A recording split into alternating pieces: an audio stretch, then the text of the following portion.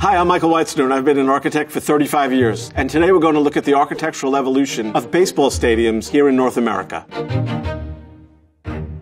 So baseball has been around since like the 1840s. In fact, soldiers played it during the Civil War. But Major League Baseball didn't start until 1869 with the first professional team, the Cincinnati Red Stockings. And in that era, the stadiums were built out of wood. But one of the most notable wooden ballparks was actually built in 1902 and that was the Palace of the Fans in Cincinnati. So what jumps out at me immediately is the symmetry they employ, putting this pediment sitting on these columns almost like a little Greek temple directly behind home plate. Then the wings of the stadium extend out. They have what appear to be like opera boxes, which you can see here are in a serrated sort of pattern, supported on brackets. And these are sort of a precursor of today's luxury boxes that you find in stadiums all over the country. And then extending just beyond those boxes are the columns that support the grandstand. And stadiums of this type and of this time always had columns supporting them. And if you had to sit behind the column, your view was impeded. But typically those seats were cheaper. And so these columns support this extended capital, which supports the entablature, which runs all around. And that entablature is supporting the upper grandstand. And the upper grandstand has a very similar quality in that it's supported on brackets, which by itself becomes a kind of ornament. And then there's these very small columns holding up the roof, and they have a very simple sort of bracing like you would find on any farm structure. So even though it appears somewhat grand, it's actually not at all. It's actually a really small scale. This stadium only held about 6,000 people. So this is a precursor to what stadiums are going to become, where instead of just being this utilitarian grandstand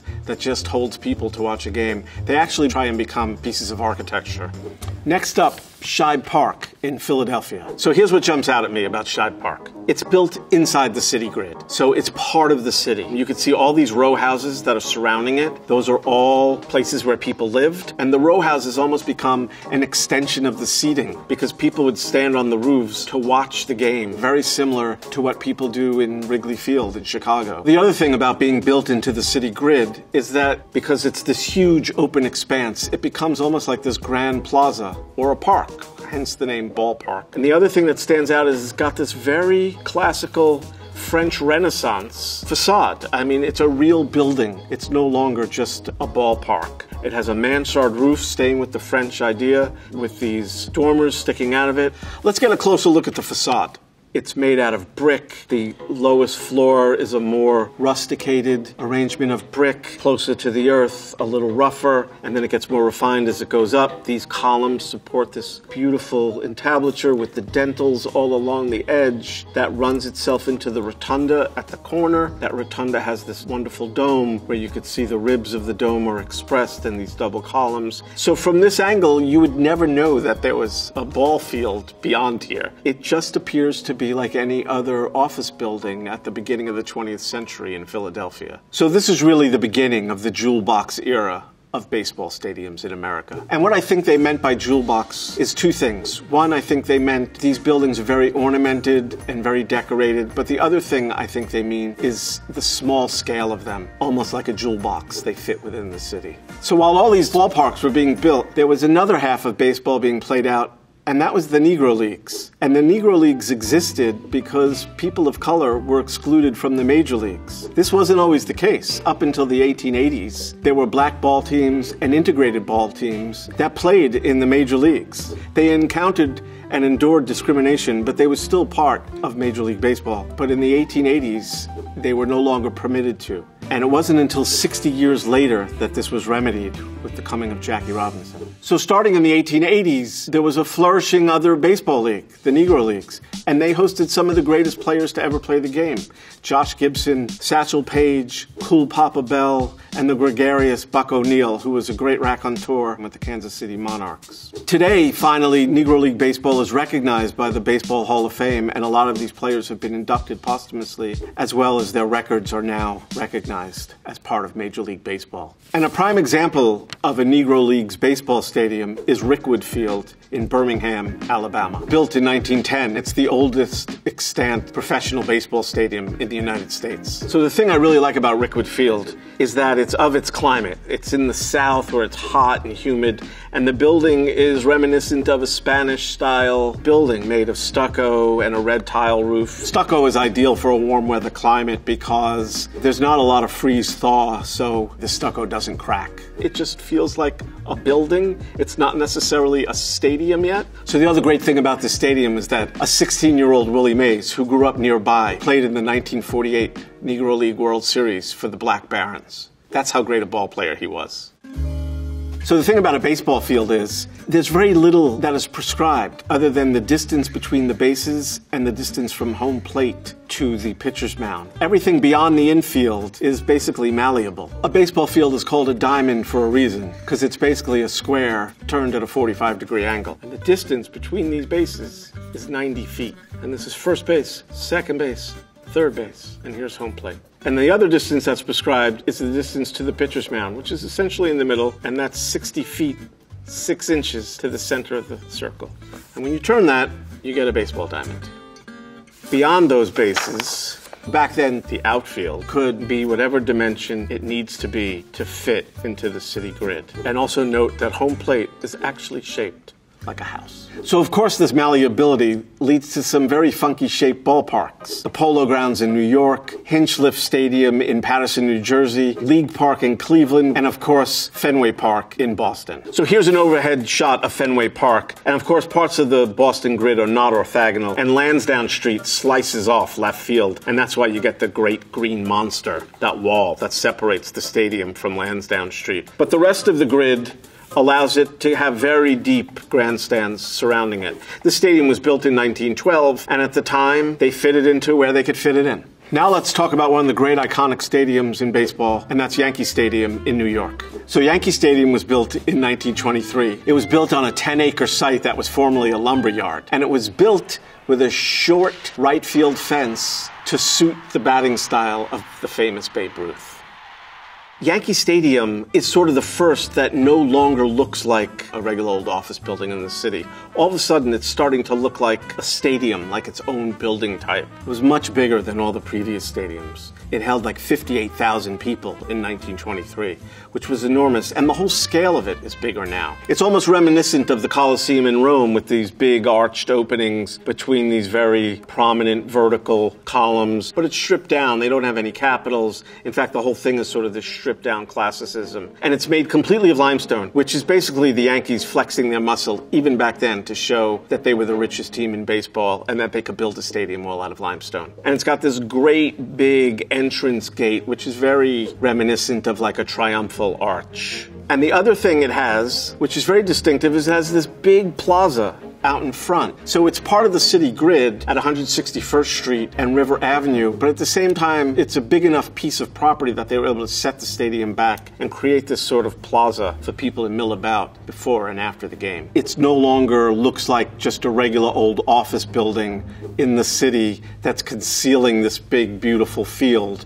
Now, when you approach Yankee Stadium, you know what goes on inside its walls. Next up, Cleveland Municipal Stadium. So, the thing about Cleveland Municipal Stadium that makes it unique, it's the first stadium built not inside the city grid. So, it's the 1930s now, and they've moved just outside the city. It's still next to the city, but it's just sort of touching it. And what they were able to do is it's no longer formed by the city grid. They can not only make it out of a perfect shape like they wanted, but they could also build it to whatever size they wanted. And in here, they went a little crazy with the scale, and they actually built it too big. So now this stadium holds 78,000 people. And they had to bring in the outfield fence because nobody was able to hit a home run in the original stadium. And the other thing that is interesting about Cleveland Municipal Stadium is the word municipal. And it gets that name because it's the first stadium built that included public money. Previously, the owners of the stadiums all paid for their own building, but this is the first time where the taxpayers also contributed. Okay, so let's take a look at the building. It's sitting without any context other than the city beyond. It's got this regular pattern of large scale windows surrounding it and unrelieved. And it's got these little triangular pieces, which I assume hold the ramps and the stairways for people to get out. And the other thing is, it still has columns. You could see on the upper deck here, part of it is cantilevered, but most of the upper deck is beyond the columns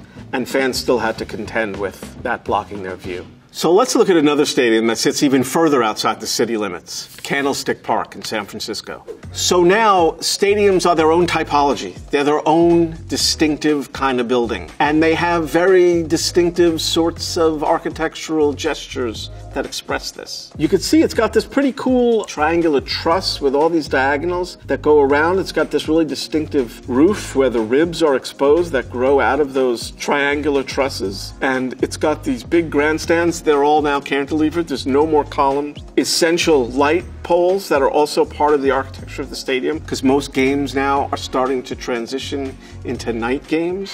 San Francisco's Candlestick Park is the setting for an historic sports event. So it's 1960. It's post World War II. The economy in America is humming along. Cars have now replaced the railroad as the main means of transportation. Not only are the stadiums being built outside the city limits, but a lot of people have moved outside the city limits. And so these stadiums are built in a sea of parking, in just a sea of asphalt, which is terrible for the environment, for one. And secondly, there's no urban life around these stadiums anymore. So there's no corner bar, there's no cafe, there's no pizza place to go to before or after the game. And in a sense, the game itself becomes the only event. It's now cut itself off from the life of the city. So this concrete and steel structure, which is very reminiscent of Italian rationalism, something that Italian engineer and architect Nervi would have done, is also sort of a foreshadowing of the real brutalist stadiums to come that are all made out of concrete. Veterans Field in Philadelphia, Three River Stadium in Pittsburgh, and Riverfront Stadium in Cincinnati, to name just a few. Now let's look at a totally different kind of stadium type, and that's the Astrodome in Houston. So the thing about the Astrodome is it's built in 1965. NASA and the space program are huge in America at that time. Houston wanted to capitalize on that. So they changed the game completely by creating and building the first indoor baseball stadium. They created this enormous dome that spans about 462 feet, which is huge, and they create an indoor room to watch baseball in. It is air conditioned, so it's always 72 degrees inside. And because it's inside, they can't grow grass, so they invent this synthetic grass, which they call AstroTurf. So the Astrodome was actually inspired by the Palazzetto dello Sport in Rome, which was designed by the great Pier Luigi Nervi for the 1960 Olympics. This building might have been inspired by Nervi, but it has very little of sort of his grace and inventiveness. This concrete armature that surrounds this perfect circle of a stadium actually has the tapered beams so that the lintels above these entrances almost become triangular at the top, which is very reminiscent of something Yamasaki, who was the designer of the World Trade Center, would have done. Baseball stadiums, essentially starting with Yankee Stadium, were all about looking forward and doing the next new thing. Let's jump forward now and take a look at a stadium that starts to look back. And that's Oriole Park at Camden Yards in Baltimore. So now it's 1992, and it's almost 30 years since the Astrodome has been built. Up to this point, stadiums, starting with Municipal Stadium in Cleveland in 1932, had been moving away from the city. And now this is an attempt to return the stadium back to the city. And it's the first and the best of what becomes known as the retro era of ballparks. Let's take a look at the stadium and let me tell you what jumps out at me. So the first thing is this warehouse that runs along the back. And that is an old railroad warehouse because the tracks used to run by here. Originally, the architects were going to knock that down, but the efforts of Janet Marie Smith, the project manager for the whole thing for the Orioles, insisted actually that they keep it. So that becomes a backdrop to the stadium, and so now the city becomes a backdrop to the stadium. And the ballpark now has sort of returned to the city where before it had left. So it has this very prominent stone base closest to the earth. It has these brick arches which are interrupted by this water line which ties the whole thing together. It has these clock towers which are concealing the exit stairs. And then it has this very utilitarian steel structure that sits atop the brick structure, which is also sort of reminiscent of the very early stadiums that were built somewhat in the jewel box era. And so they deliberately kept the scale down. It only holds 45,000 people, in which case it doesn't have to be super tall, and it really acts like a good neighbor in the city. This is a great example of the retro era of stadiums, but it inspired a lot of bad examples, and let's take a look at one of them right now. and that's Citi Field in New York. Like Camden Yards, Citi Field has this brick base and then they have this sort of utilitarian steel structure atop for the grandstand and the light towers. But it lacks the small scale of Camden Yards, and it's not part of the city grid. And its design is based on a stadium that was very connected to the city, and that's Ebbets Field, which was in Brooklyn. Ebbets Field was built on an old garbage dump called Pigtown, just east of Prospect Park. This is the place where Jackie Robinson broke the color barrier by being brought up to the Dodgers in 1947, one of the great milestones in baseball history. Ebbets Field is very much a product of the city grid. It's surrounded by Sullivan Street and Bedford Avenue. It's built in that era when the stadiums were still just buildings that surrounded a big baseball field. And because of that, it's got ornamentation and scale and refinement that a nice brick building of that era would have. So, built in 1913, it's got these beautiful big windows, but those windows are divided into much smaller mullions, breaking down the scale.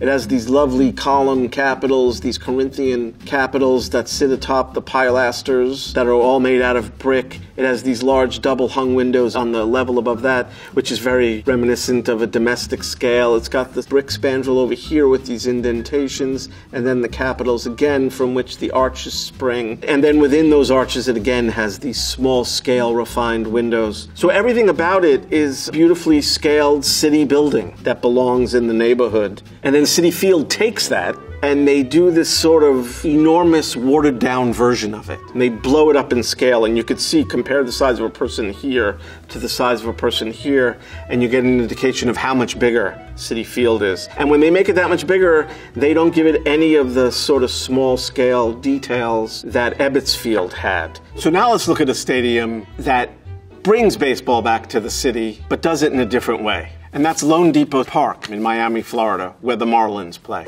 So the thing I love about this stadium in Miami, it's its own thing, and it's not trying to be what it isn't. In fact, the first thing that jumps out at me are these huge columns that support the tracks that are there solely for the retractable roof when it pulls back. The other thing that I love about this, the ramps are outdoor. They're not covered. It's Miami. They don't need to cover them. They express the shape and the function of the ramps. And then it has this huge window along the back that can slide open, so even when the roof is closed, the stadium could still be part of the city. But as you can see, this stadium is part of the city grid. There were streets running by here, there were streets running by here, there's a park out in front, and it's a real amenity for the city. It's not built in a sea of parking out in the suburbs. So the other really nice part about this retractable roof is that when it's pulled open and it's sitting on these huge tree-like columns, is that it actually forms a covered porch for the entire stadium, which is also just a very nice sort of